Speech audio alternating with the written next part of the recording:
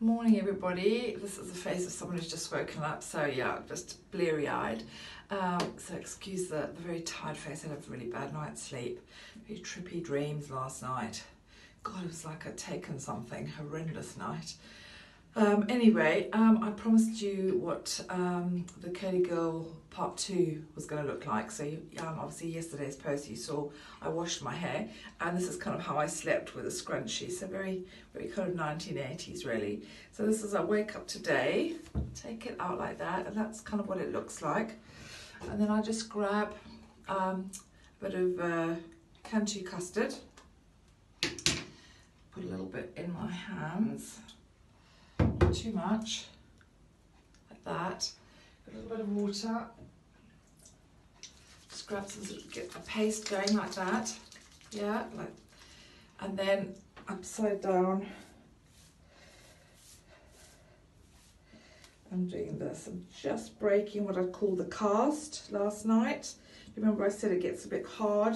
It, it's not massively hard because I didn't put any gel in it, but it, it's, it's, this kind of softens it and this will scrunch it out for, for today. Um, needs a little bit more water.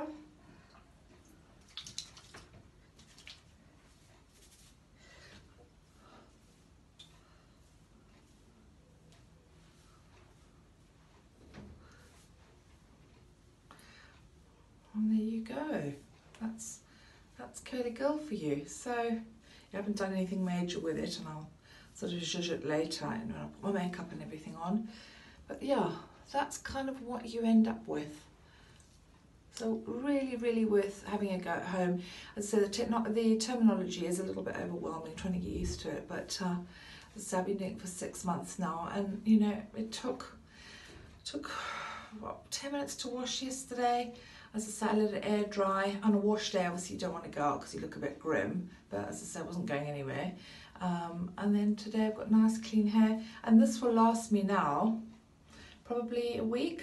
Um, which is great. That's a good thing about curly hair, so you don't have to wash it very often. And the longer you leave it, actually, the better it is. You'll get a better curl. So tomorrow's curl will be even more defined than this. But yeah, I hope that demonstrates um, how to do curly girl. Any questions, please drop me a line and say, excuse the early morning face. And uh, yeah, happy hair day, guys. Bye.